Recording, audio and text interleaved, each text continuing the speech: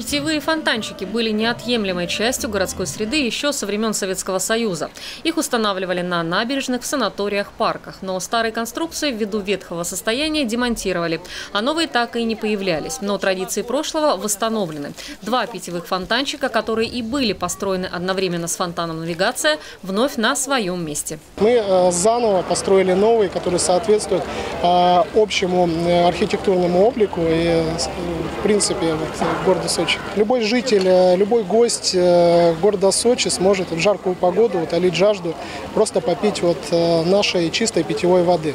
Мы знаем, наша вода в городе Сочи э, абсолютно э, чистая, ее можно пить из-под крана, мы гордимся этим. Чистоту питьевой воды курортной столицы ценят как жители, так и гости Сочи. А система питьевых фонтанов для многих туристических городов – это и достопримечательность, и предмет гордости, а главное – необходимость. Очень хорошо.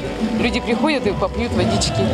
Так что в жару, пожалуйста, всегда можно попить глоток воды сочинской.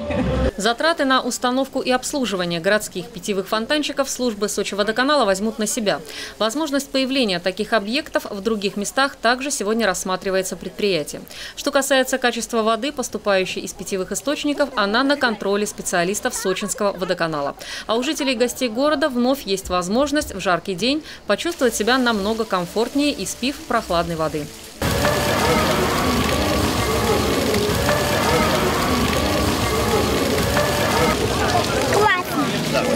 Рената Шипулина, Алексей Давыдов, телекомпания «ФКТ».